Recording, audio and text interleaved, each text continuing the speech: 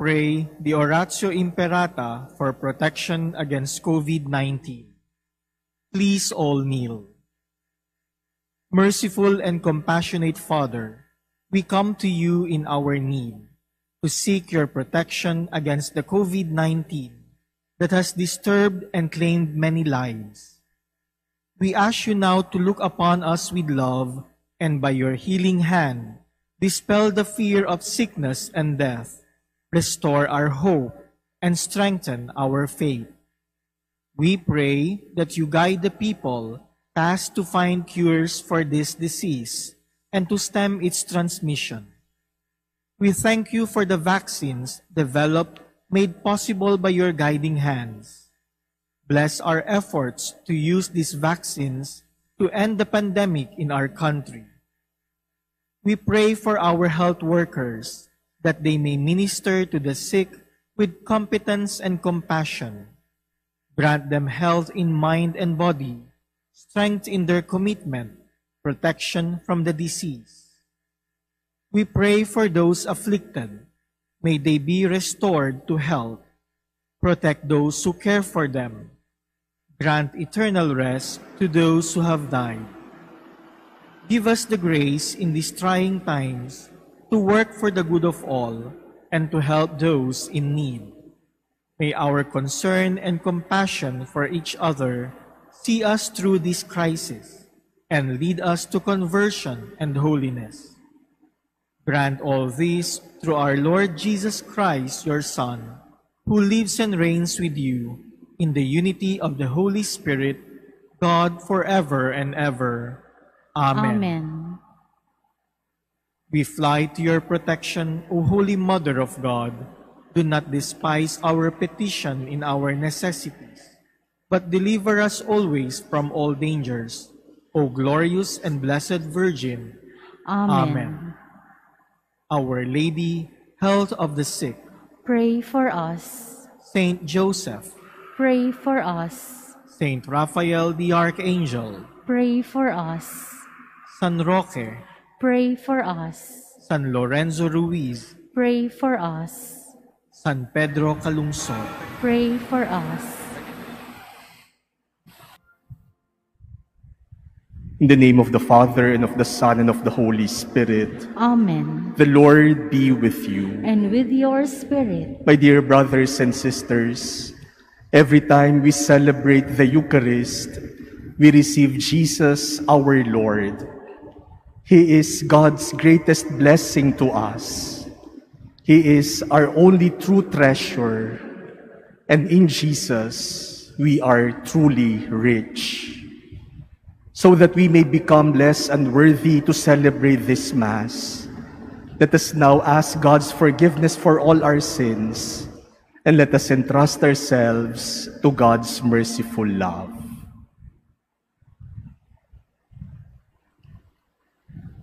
I confess to Almighty God and to you, my brothers and sisters, that I have greatly sinned in my thoughts and in my words, in what I have done and in what I have failed to do, through my fault, through my fault, through my most grievous fault.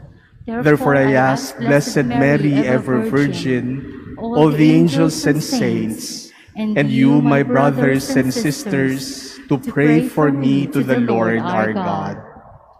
May Almighty God have mercy on us, forgive us our sins, and bring us to everlasting life. Amen.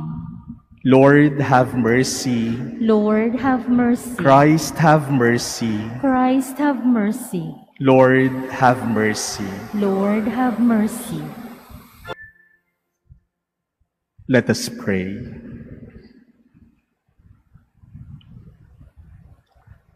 Draw near to your servants, O Lord, and answer their prayers with unceasing kindness, that for those who glory in you as their Creator and Guide, you may restore what you have created and keep safe what you have restored. Through our Lord Jesus Christ, your Son, who lives and reigns with you in the unity of the Holy Spirit, God forever and ever. Amen. Please be seated. A reading from the book of Ecclesiastes. Vanity of vanities, says Koheleth. Vanity of vanities. All things are vanity. Here is one who has labored with wisdom and knowledge and skill, and yet to another who has not labored over it, he must leave property. This also is vanity and a great misfortune. For what profit comes to man from all the toil and anxiety of heart with which he has labored under the sun? All his days, sorrow and grief is his occupation. Even at night, his mind is not at rest. This also is vanity. The word of the Lord. Thanks be to God.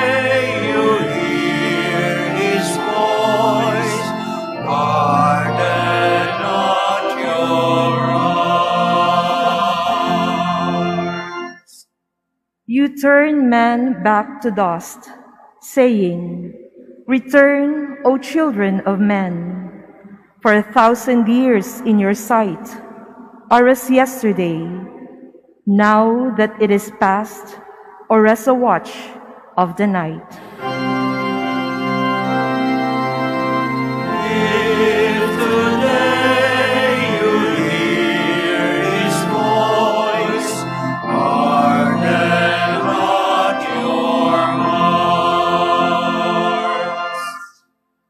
You make an end of them in their sleep. The next morning, they are like the changing grass, which at dawn springs up anew, but by evening wilts and fades.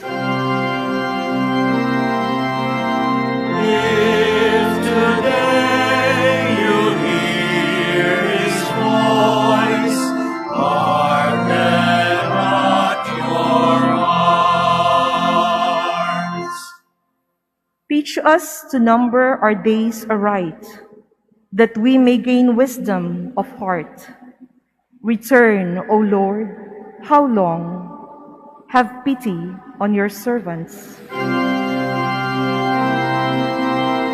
If today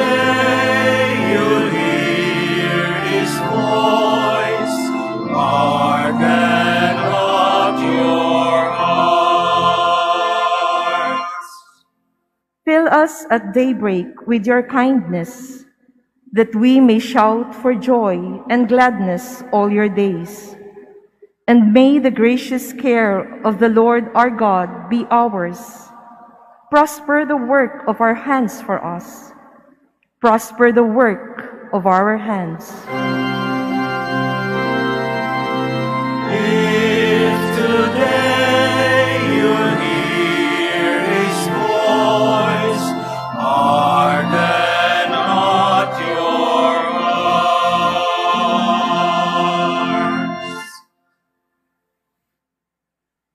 A reading from the letter of St. Paul to the Colossians.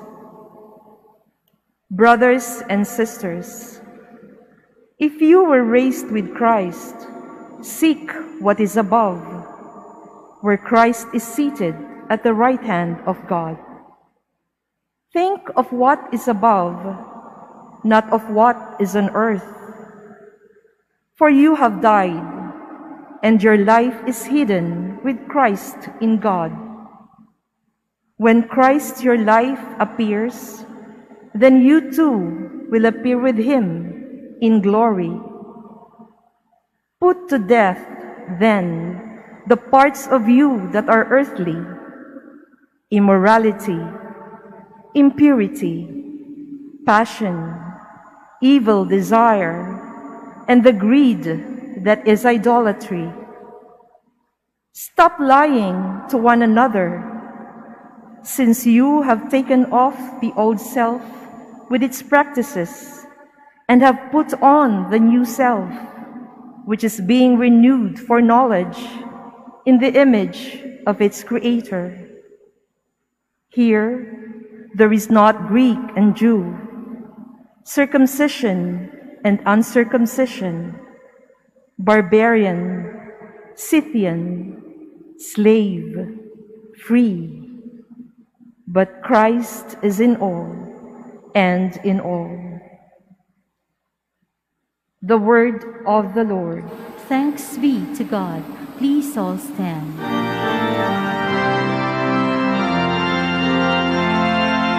Alleluia,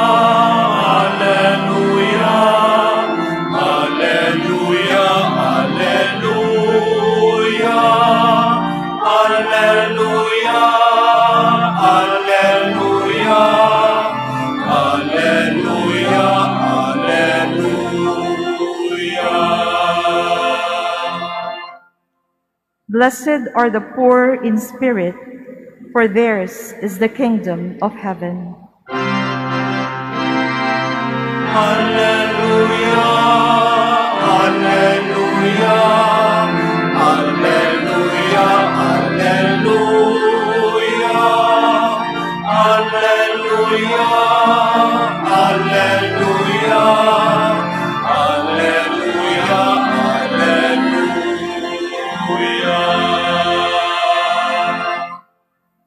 The Lord be with you. And with your spirit, A reading from the Holy Gospel according to Luke. glory to you, O Lord.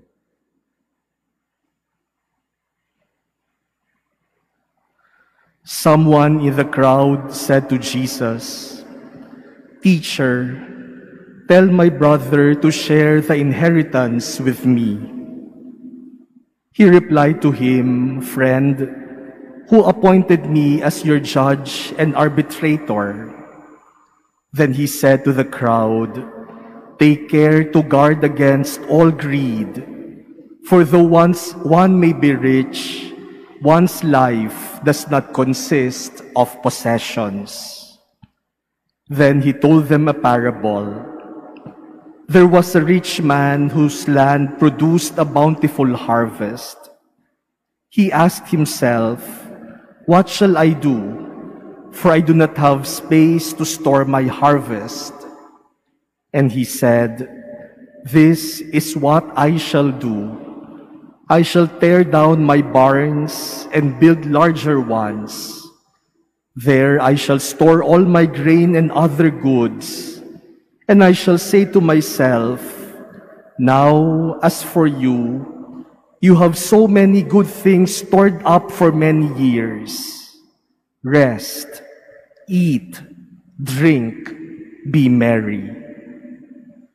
But God said to him, You fool, this night your life will be demanded of you.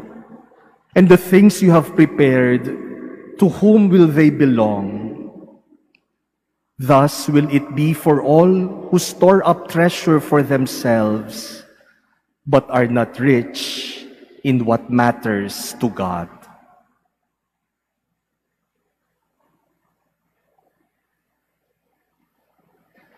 The Gospel of the Lord. Praise to you, Lord Jesus Christ.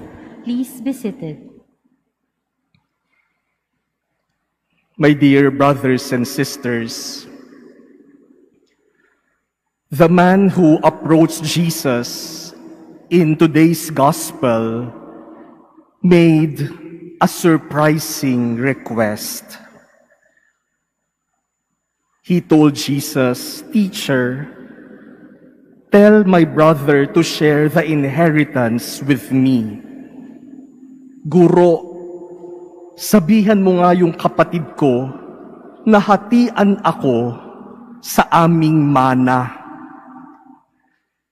This is a surprising request because of the many things that he could ask from Jesus. He asked about inheritance. He could have asked for healing. He could have asked for salvation. He could have asked for something noble. He could have asked for greater things. Kayo man ang bigyan ng pagkakataon na makausap si Jesus at humiling ng isang bagay kay Jesus. Hindi ka hihiling ng simpleng bagay.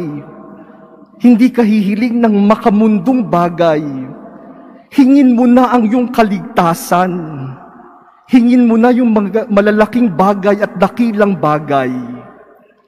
But this man, who was given the opportunity to talk to Jesus, asked for something so mundane, so earthly.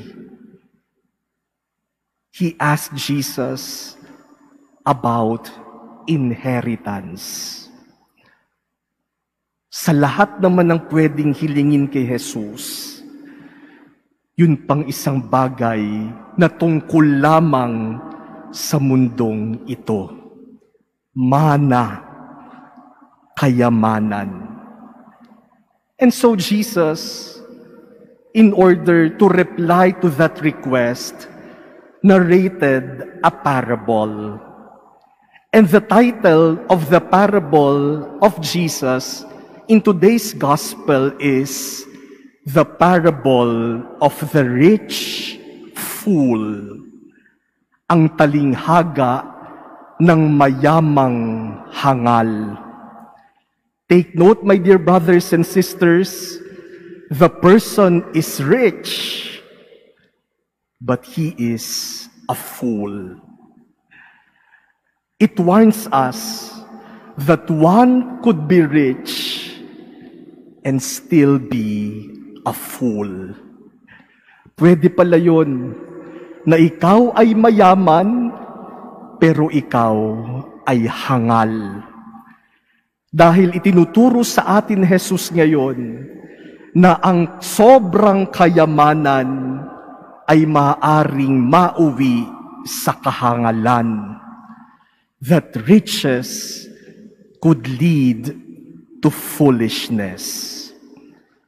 And how could riches lead to foolish, foolishness?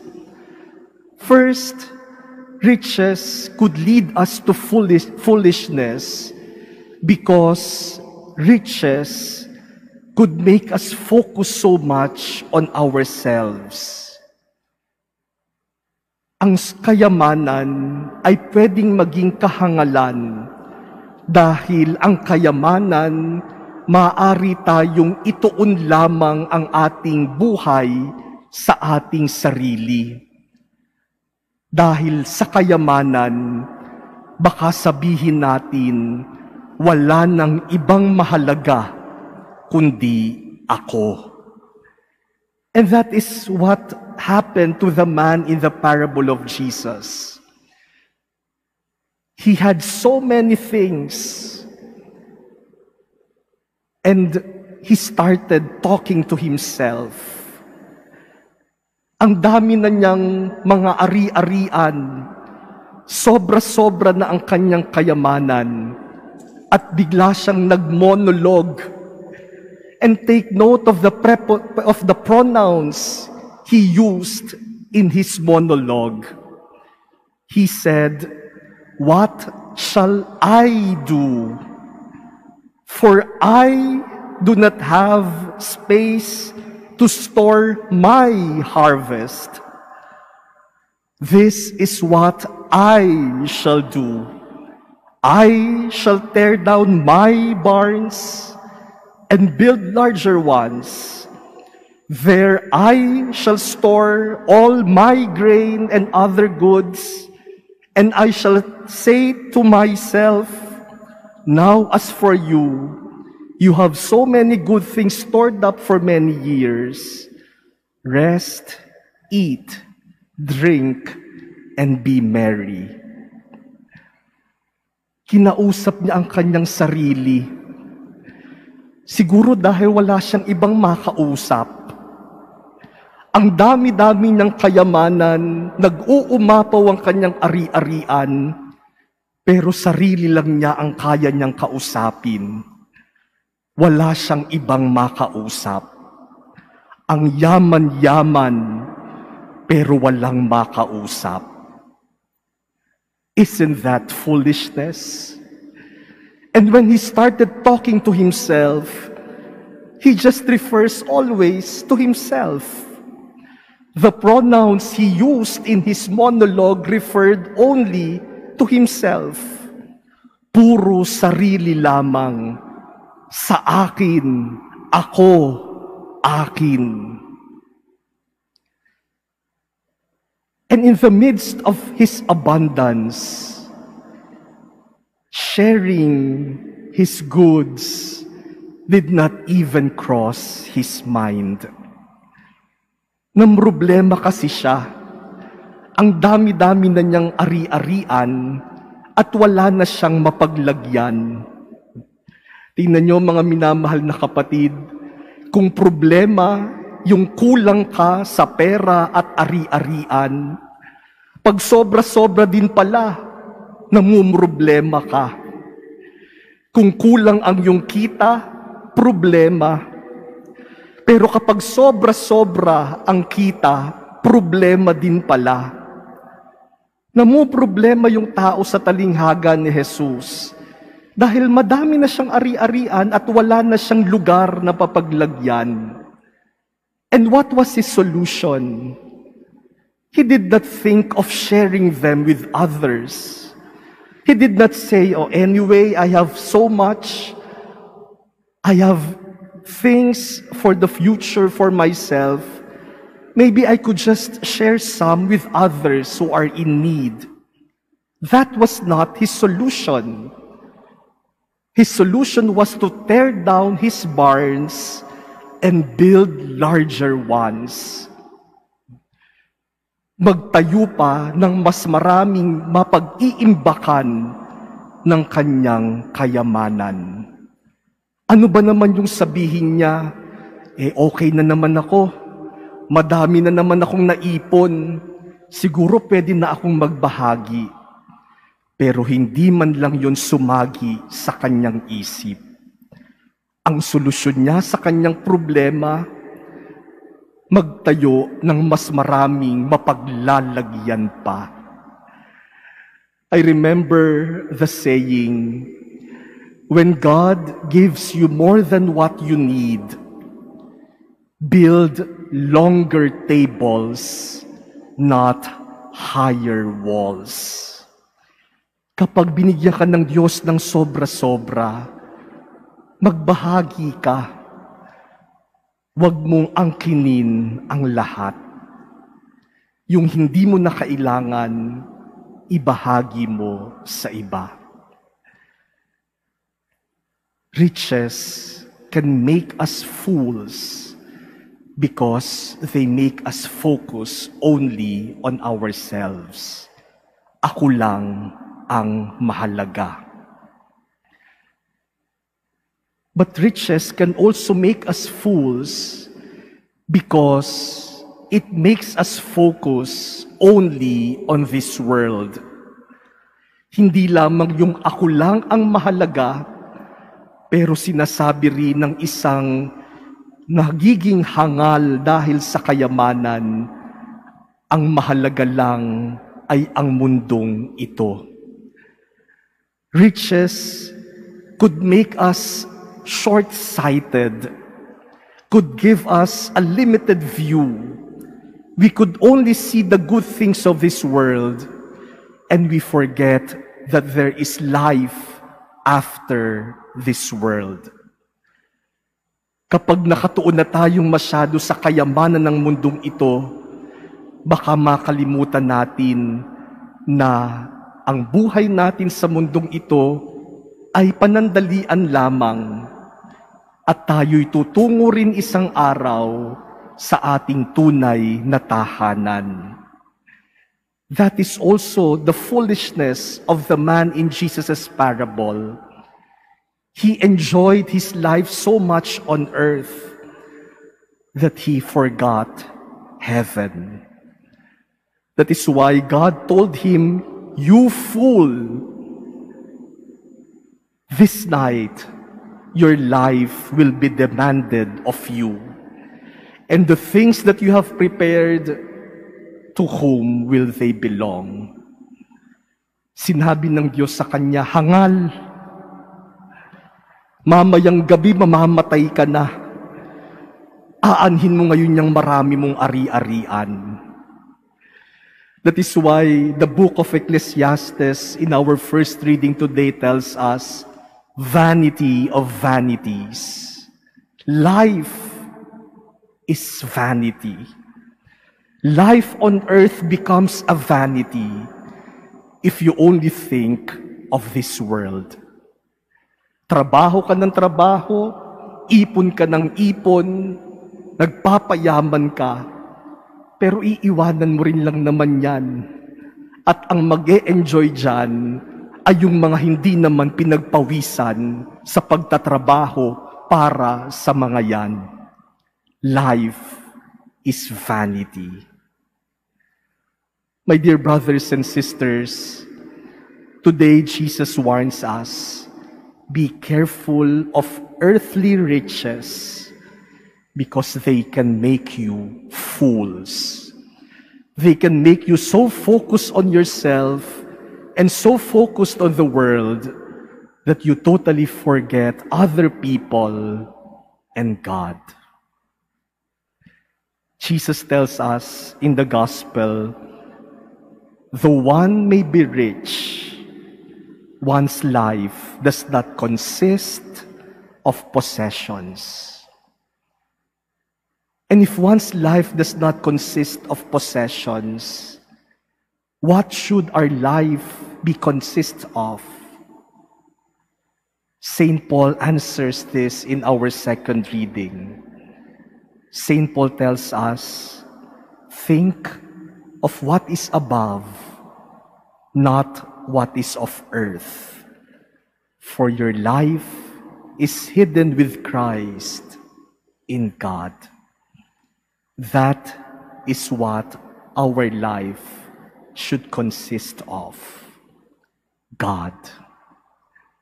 That is why Jesus also tells us, be rich not only in what matters in, in what matters to this world, but be rich in what matters to God maging mayaman hindi lamang sa mga bagay ng mundong ito, maging mayaman sa mga bagay na makadiyos. My dear brothers and sisters, are you rich? Mayaman ba kayo? At ano ang inyong kayamanan? Mayaman ba tayo sa mga bagay sa mundong ito? O mayaman ba tayo sa mga bagay ng Diyos? Nakakalungkot na sa panahon natin ngayon, masyado na tayong nakatuon sa mga bagay ng mundong ito. Pera, kayamanan, kapangyarihan, kasikatan, yan ang ating mga concerns yan din ang ating mga pinag-aawayan. Yan ang dahilan ng pagsisiraan. Yan din ang dahilan ng pagpapatayan. Look how riches could make us fools. Sana maging mayaman tayo sa mga bagay na makadiyos. Sana maging mayaman tayo sa mga bagay na magdadala sa atin sa langit. Today is also the feast of Saint Ignatius of Loyola, the founder of the Society of Jesus. And one of his famous prayers is the Sus Suscipe, about giving everything to the Lord. His prayer is some, something that we sing very often at Mass. Take and receive, O Lord. With St. Ignatius, we could also say, Only your grace and your love, Lord, are enough for me. Give me only your grace and your love, and I will be truly rich, and all else I could forego.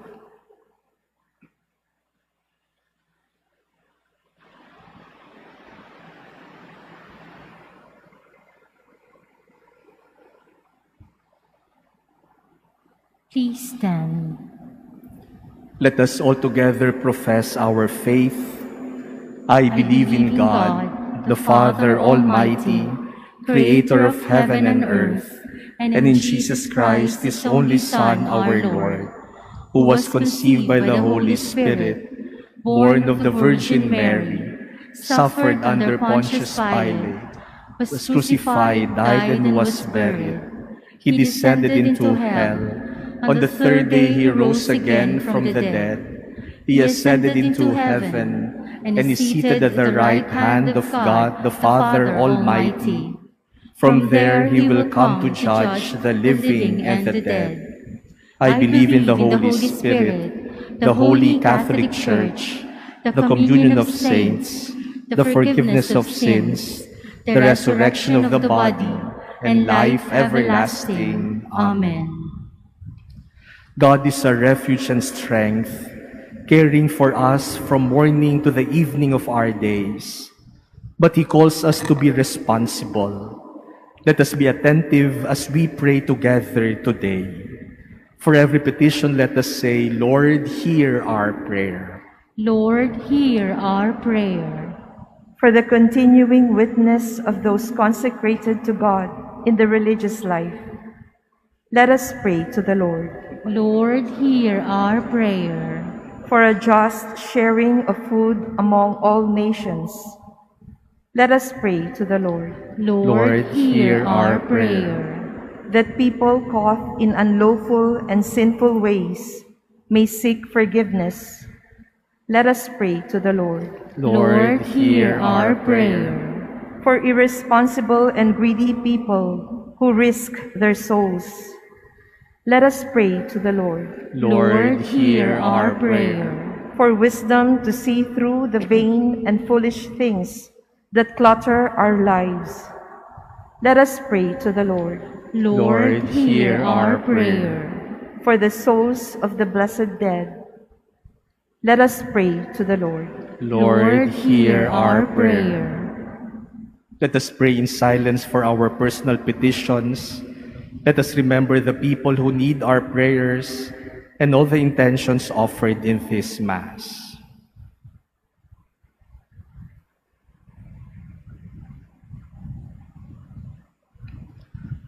Holy Lord and Father, may, you fa- may your favor be upon us as you receive the prayers we make.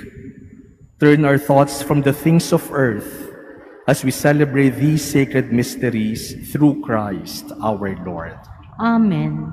Please be seated. Upon the request of our bishops, our collection for this Mass will be given to our brothers and sisters who were affected by the recent earthquake, especially in the provinces of the north. Let us be generous in helping them.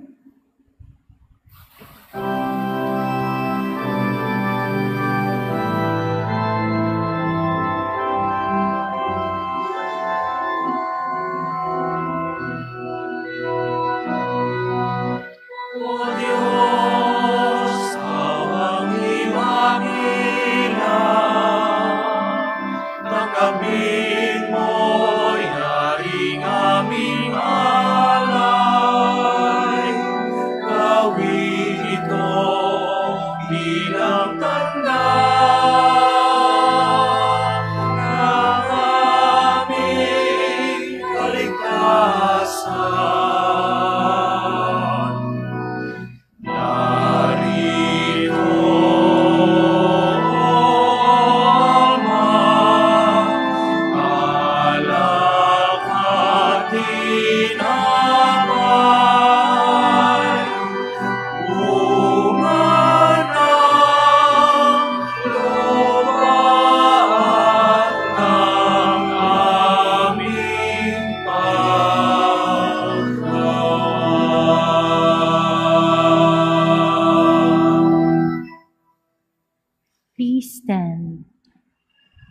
Pray, brothers and sisters, that my sacrifice and yours may be acceptable to God, the Almighty Father. May the Lord accept the sacrifice at your hands for the praise and glory of his name, for our good and the good of all his holy church. Graciously sanctify these gifts, O Lord, we pray. And accepting the oblation of this spiritual sacrifice, make of us an eternal offering to you through Christ our Lord. Amen. The Lord be with you. And with your spirit, Lift up your hearts. we lift them up to the Lord. Let us give thanks to the Lord our God. It is right and just.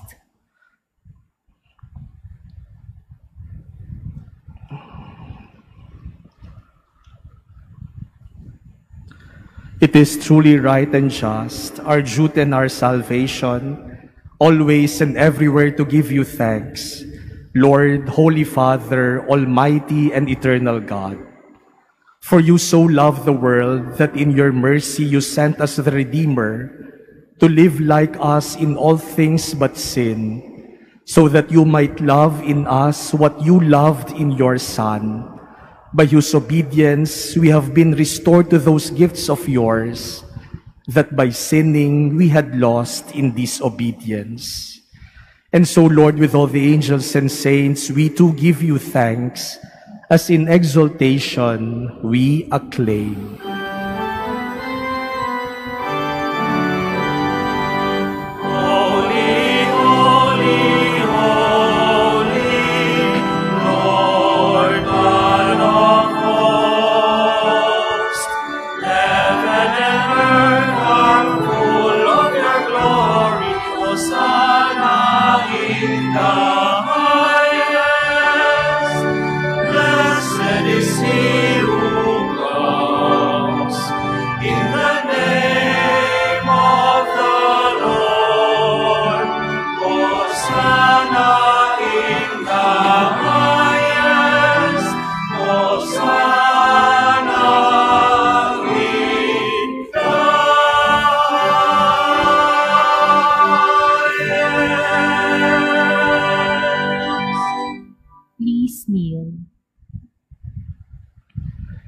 Are indeed holy, O Lord, the fount of all holiness. Make holy, therefore, these gifts, we pray, by sending down your Spirit upon them like the dewfall, so that they may become for us the body and blood of our Lord Jesus Christ. At the time he was betrayed and entered willingly into his passion, he took bread, and giving thanks, broke it, and gave it to his disciples, saying, Take this, all of you, and eat of it, for this is my body, which will be given up for you.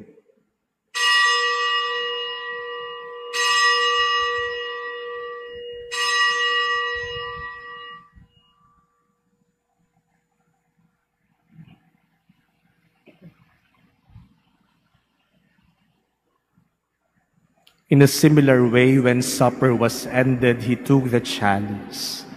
And once more giving thanks, he gave it to his disciples, saying, Take this, all of you, and drink from it. For this is the chalice of my blood, the blood of the new and eternal covenant, which will be poured out for you and for many for the forgiveness of sins. Do this in memory of me.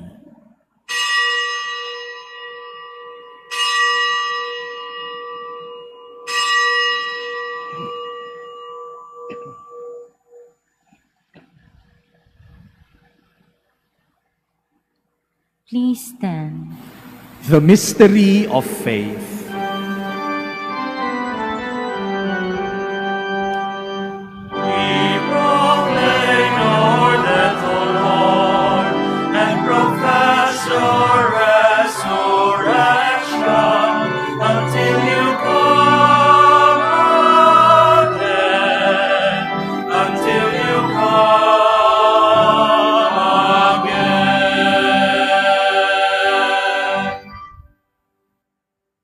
Therefore, as we celebrate the memorial of his death and resurrection, We offer you, Lord, the bread of life and the chalice of salvation, giving thanks that you have held us worthy to be in your presence and minister to you.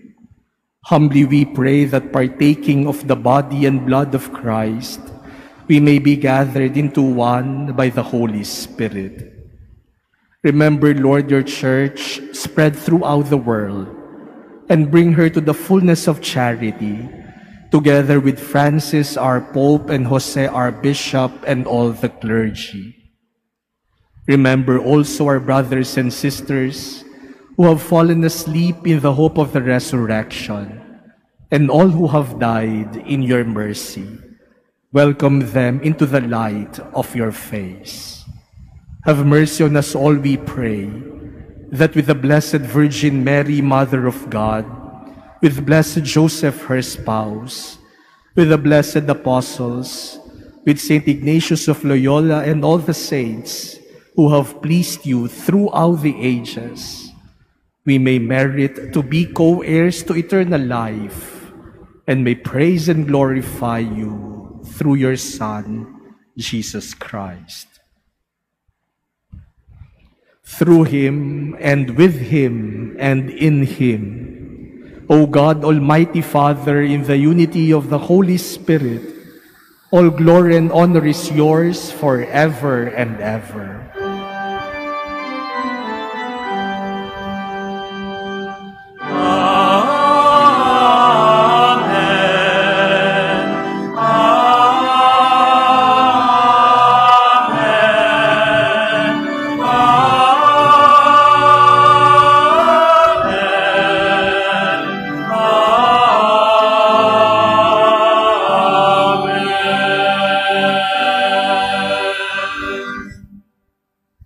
Jesus taught us to call God our Father, and so we have the courage to pray.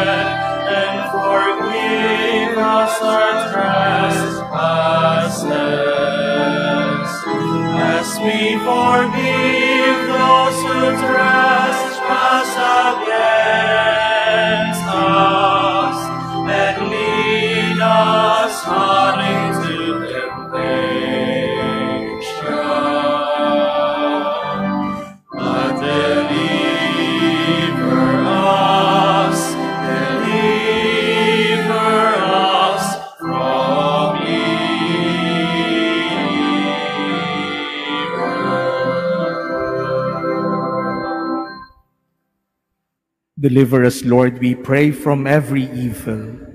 Graciously grant peace in our days, that by the help of your mercy we may be always free from sin and safe from all distress, as we await the blessed hope and the coming of our Savior, Jesus Christ.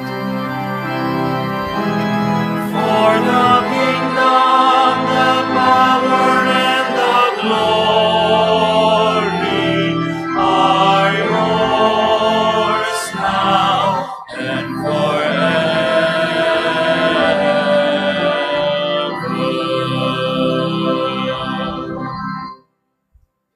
Lord Jesus Christ, who said to your apostles, Peace I leave you, my peace I give you.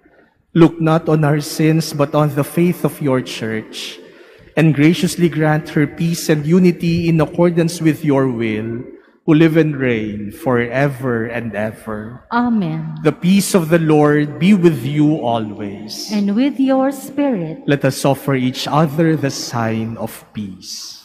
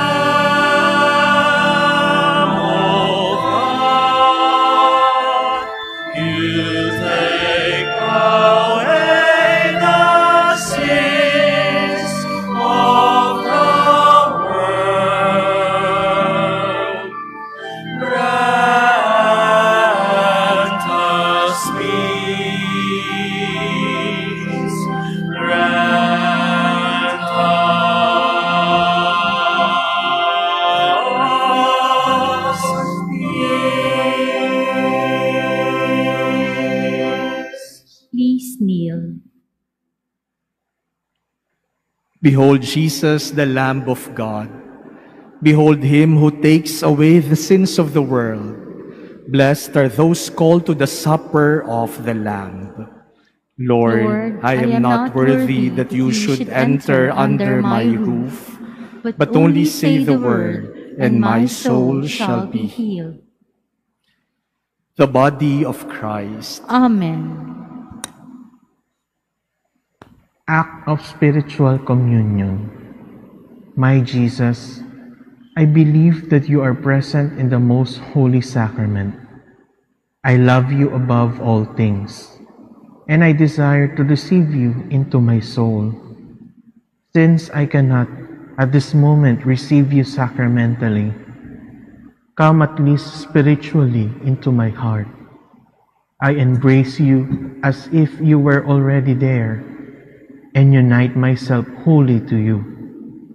Never permit me to be separated from you. Amen.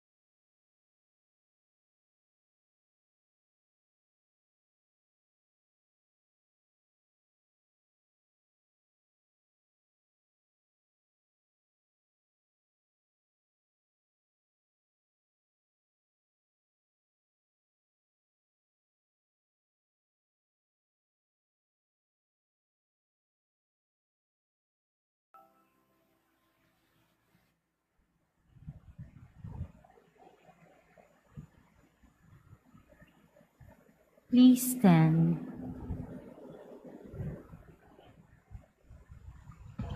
Let us pray.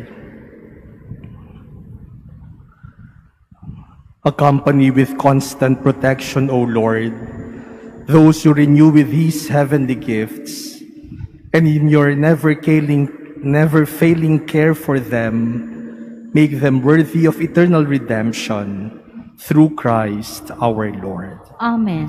Please be seated. Today, the last Sunday of July, is also Phil Mission Sunday. We are made aware of the efforts of our Philippine Church to send our fellow Filipino lay people and priests and religious to other places in the country and all over the world to be missionaries. And so let us listen to the sharing of our brother from the Mission Society of the Philippines.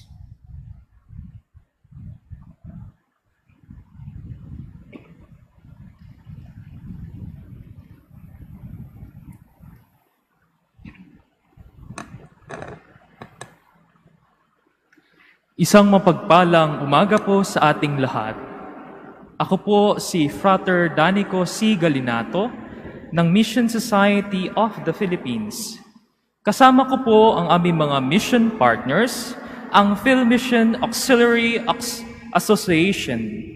Ngayong linggo po ay ipinagdiriwang natin ang Filipino Mission Sunday.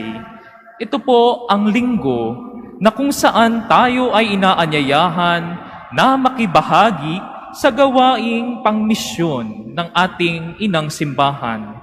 Ito rin ang araw na kung saan ating inaalala ang ating mga paring misyonero, lalong higit ang mga kasapi ng Mission Society of the Philippines o MSP. Ang MSP po ay isang samahan ng Pilipinong paring misyonero na itinatag ng CBCP o ang Catholic, Catholic Bishops Conference of the Philippines noong 1965 bilang tanda ng ating pasasalamat sa biyaya ng pananampalatayang ating tinanggap mula sa mga unang misyonero na pumunta sa ating bansa. Ang MSP po, ang official missionary arm of the Catholic Church of the Philippines. Atin po ito. Kung noon po tayo ay tumatanggap ng mga misyonero, ngayon po ay tayo na ang nagpapadala. Ika nga nila, we are gifted to give. Sa bisa ng ating binyag, tayo po ay mga misyonero. Tayo pong lahat. Ngunit hindi po lahat sa atin ay nabibigyan ng pagkakataong makapunta sa ibang bansa upang makapagmisyon. Kaya po tayo ay hinihikayat ng ating simbahan ngayong linggo na maging misyonero nga sa ating sariling pamamaraan. To become missionaries in our own little ways. Ngayon po, paano po tayo makakatulong sa gawaing pangmisyon bilang isang laiko? Una po sa pamamagitan ng pagdarasal at pananalangin. Naniniwala po kami tulad ni Santa Teresita ng Batang Jesus na ang inyong mga panalangin ay nakapagpapalakas sa loob ng ating mga kaparian, lalong higit yaong mga nakakaranas ng kahirapan sa misyon. To tell you the truth po, the other day, isa po sa mga pari namin na nagmimisyon sa kagupatan ng Papua New Guinea ay namatay. Siya po ay si Father Nonoy. Pangalawa po sa pamamagitan ng pagsuporta sa bukasyon. Sa katunayan po, kakaunti na lamang ang mga binatang lalaki na tumutugon sa bukasyon ng pagpapari.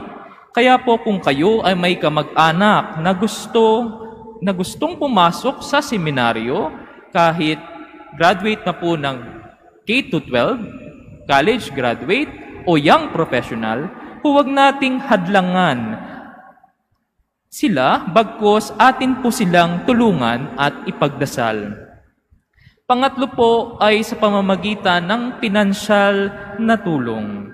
Kung napapansin po ninyo, merong pinamimigay na mga mission envelopes sa inyo. Ang, ang, ang anumang pong tulong na inyong ibibigay, maliit man o malaki, ay makatutulong sa pagpapatuloy ng aming pagmimisyon at pag-aaral sa aming mga seminarista, pagpapadala ng mga misyonero sa iba't ibang dako ng mundo. Africa na lang po at, at Antarctica ang hindi pa namin napupuntahan. At sa mga retiradong paring misyonero na nandirito na po sa Pilipinas. Upang kami ay maging ganap nga, no, kami pong mga seminarista, na maging ganap na misyonero sa hinaharap. Sa pamamagitan po ng ating tulong, tayo po ay nakikibahagi sa misyon ni Jesus, ang dakilang misyonero. Hindi po ito aming misyon lamang, kundi ating misyon. Lagi po nating tatandaan, kami po ay inyong mga misyonero.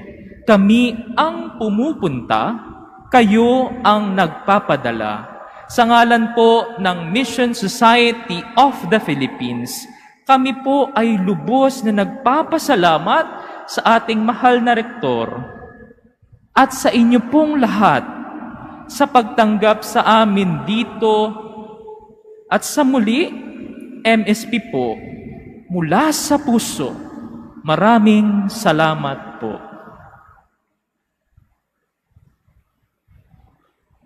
Maraming salamat, brother. At uh, sana po ay suportahan natin ng ating mga kapatid na misyonero sa ating simpleng paraan.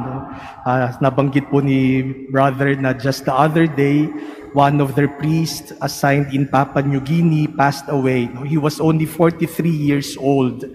And um, we pray for the work of mission. We support the work of mission. Kung dati po tayo yung pinupuntahan dito para ng mga misyonero para dalhin ng mabuting balita ni Jesus, ngayon po tayo na nagpapadala sa iba't ibang dako ng mundo. Sabi nga ni Brother, Africa na lang ang hindi natin napupuntahan at yun ang kanilang target. So we ask you to support our missionaries through your prayers, by also supporting their vocation, and by supporting them financially through your help. Sana po ay magbigay tayo ng tulong. Meron po silang friendship table sa ating paglabas kung saan pwede nating ibigay ang ating mga tulong sa kanila. Maraming salamat din po sa inyong tulong para sa ating mga kapatid na uh, naka, nabig, na nakaranas ng lindol at nasira ang kanilang mga simbahan, tahanan at kabuhayan. Maraming salamat po sa inyong pagdalo sa ating misa ngayong umaga sa pagpunta dito sa Manila Cathedral, ganun din po sa mga kasama natin sa live streaming, sa iba't ibang mga social media platforms, ganun din po sa DWIZ, IZTV. Maraming salamat po sa ating staff at uh, servants ng Manila Cathedral at sa nag-provide ng sign language interpretation. Maraming salamat po sa inyong paglilingkod. At nawa ay pagpalain ng Panginoon itong bagong linggo na haharapin nating lahat at tulungan tayong magsikap maging mayaman sa mga mata ng Panginoon. Please stand for the blessing. The Lord be with you. And with your spirit. Bow your heads and pray for God's blessing. May Almighty God bless you in His kindness and pour out saving wisdom upon you now and forever. Amen. May He nourish you always with the teachings of the faith and make you persevere in holy deeds now and forever. Amen. May He turn your steps towards Himself and show you the path of charity and peace now and forever. Amen. And may the blessing of Almighty God, the Father, and the Son, and the Holy Spirit come down on you and remain with you forever. Amen. Go in peace, glorifying the Lord by your life. Thanks be to God.